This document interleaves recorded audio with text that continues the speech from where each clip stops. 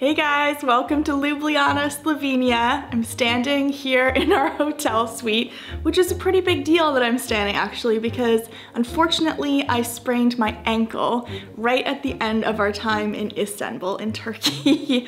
I can't believe it. it was super annoying as these things are. And I had to get a wheelchair through the airport to get to Ljubljana. I just need some ice and I'm good to go. And so when we arrived and I saw how amazing and massive this hotel suite was.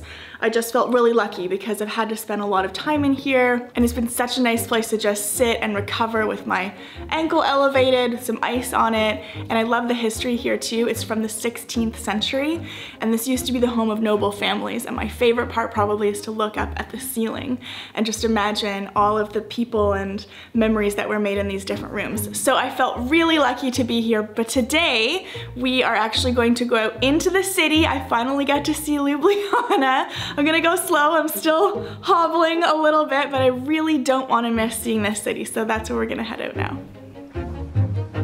Here's my helper.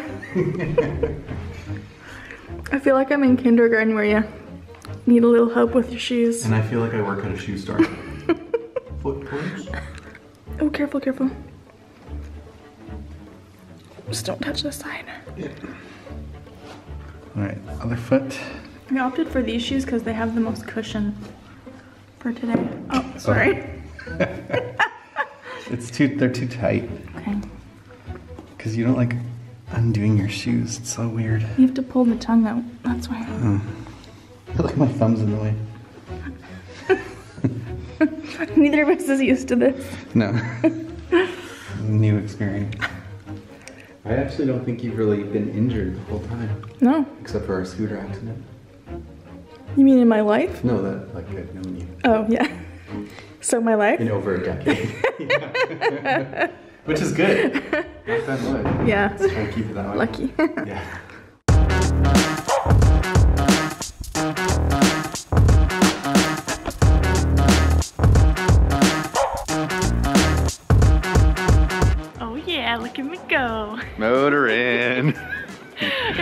Be outside again. Mark has been getting all of our uh, food and bringing it back.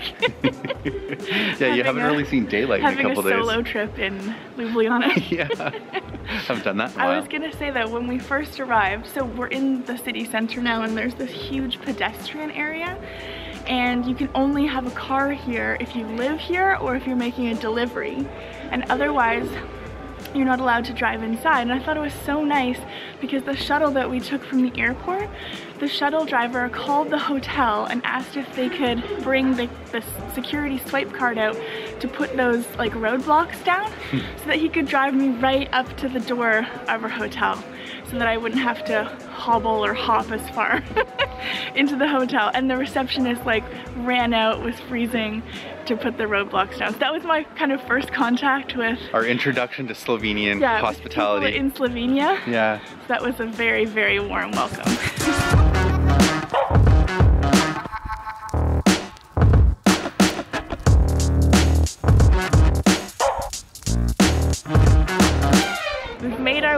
to the Ljubljanica, which is the river that goes all through the old town here, standing on this beautiful bridge, and the sun is just kind of poking out through the clouds. it, I, it, Teasing no, us that it's gonna go away. I have missed the sun, so I'm glad it's at least saying hello. But this is so pretty.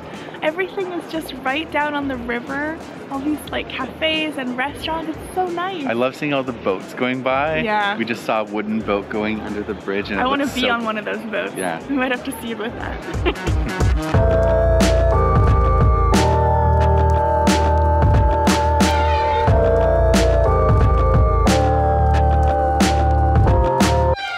Followed the river down to one of the most well-known attractions in all of Ljubljana. This is the Triple Bridge. And I think what I like most about this bridge, other than just how pretty it is, is the story behind it because mm -hmm. it mm-hmm. didn't start as three bridges. This middle one that we're standing on right now is the widest and it has been here since 1842 and it replaced this very old medieval wooden bridge that was strategically quite important here I think. And then in the 1920s and I think 29 to 32 this architect wanted to spruce up that bridge a little bit, so he decided to add the two smaller kind of pedestrian ones on each side, and I've never seen a bridge quite like this. No, it's it, really unique. It's really unique, and it's full of people, and it's really just a beautiful place to stand and get a nice view of what feels like the heart of the city.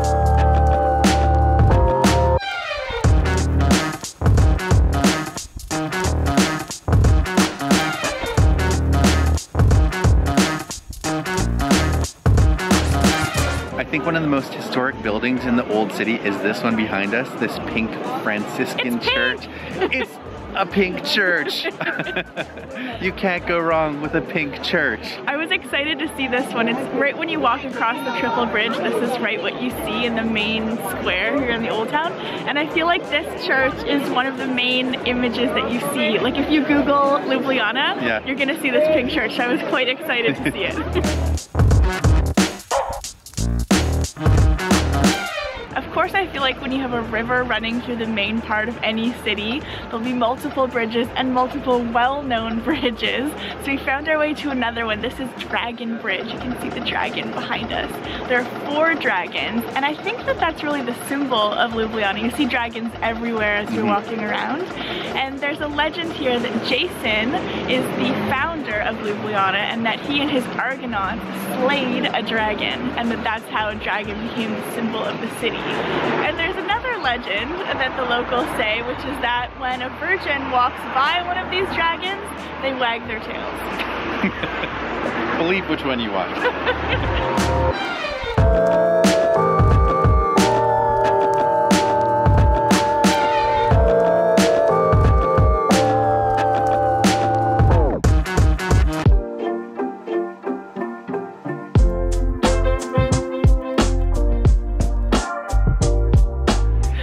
onto Mark extra tight today. You're doing really well. Thank you. Way high up there on the mountaintop is the Ljubljana Castle. Mountaintop? You're from Calgary. on the hill. Guy. On the hill. it's a mountaintop to maybe people from Ontario, like me. Anyway, mountaintop, yes. and it's originally a medieval fortress dating back to, oh, the 11th century. Super, super old and it's been restored many times throughout the centuries. It basically got its new shape in about the 15th century. Brand new. And it really does sit high above the city, so you see it from everywhere, and it kind of grounds you that you're in this very, very historic place. And the other thing I love is that the coat of arms for Ljubljana has the castle on it with a dragon sitting on top, which is Mark's the coolest coat of arms I've ever seen. it's got it all dragons, castles. What more do you want?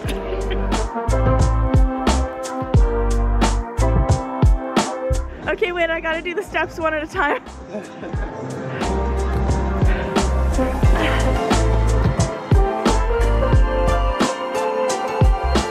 Heading down to our river cruise. You're doing good.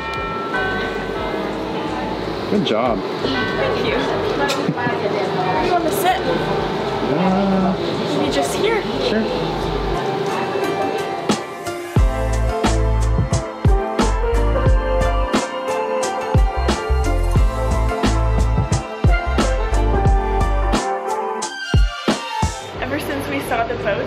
Boats on the river, I wanted to come down and get on one myself.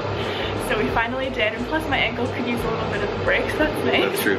Actually, you can put it up here probably. Yeah, true. Oh, perfect.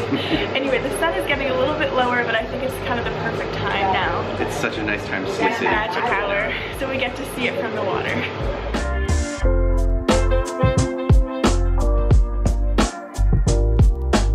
This is the first bridge we are standing on where I saw the boat. So this feels full circle. Now we're on the boat, on the river, going underneath the bridge.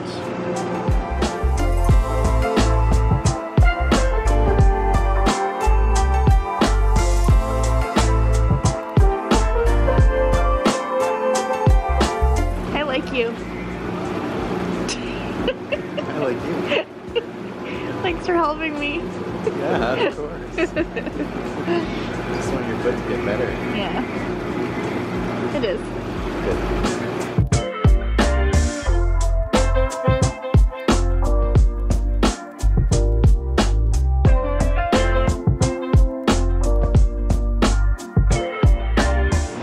just said the words I love most, which is, I brought chocolate covered Oreos. I actually said what the only thing that could make right now better are chocolate covered oh. Oreos these are my favorite. Here, open up the, there's two kinds. There's chocolate covered, like regular chocolate, milk chocolate, and then white chocolate covered Oreos. And the white chocolate are my favorite. I love them so, so There much. Oh, look at that. White chocolate covered Oreos are the way to Eileen's heart. He's amused at how happy I am. Oh. Oh my god.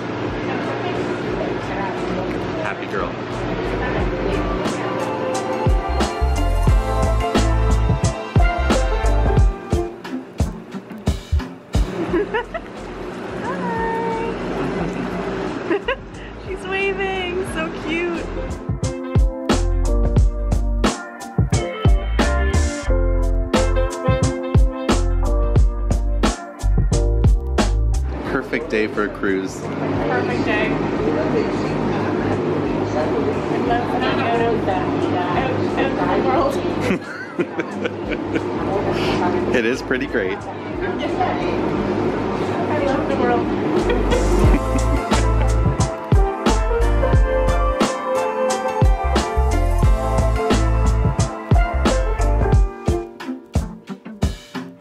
we just went under the triple bridge. Yeah, It's cool to see it from underneath. three times as much fun. It's going under a regular bridge.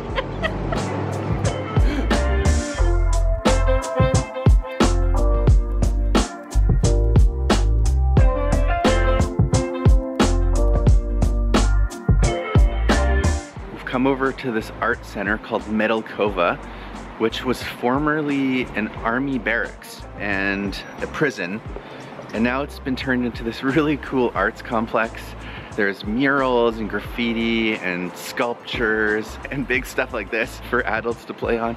And uh, it's just a really cool creative space.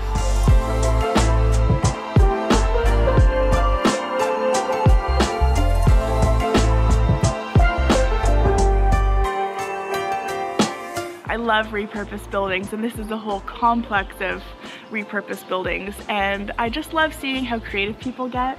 You know, it's so full of color and all the different ways that they've creatively recycled materials Mhm. and made them into something new is really cool to see. Lots of cool graffiti and murals. And I think my favorite is the series of golems or they look like golem creatures over there, some of which closely resemble me in the morning. this place is just absolutely drenched with creativity. like it's crazy. Everywhere you look, Yeah. there's something there to see. I'm sure at night this place would be a cool place to come and hang out to. Mm.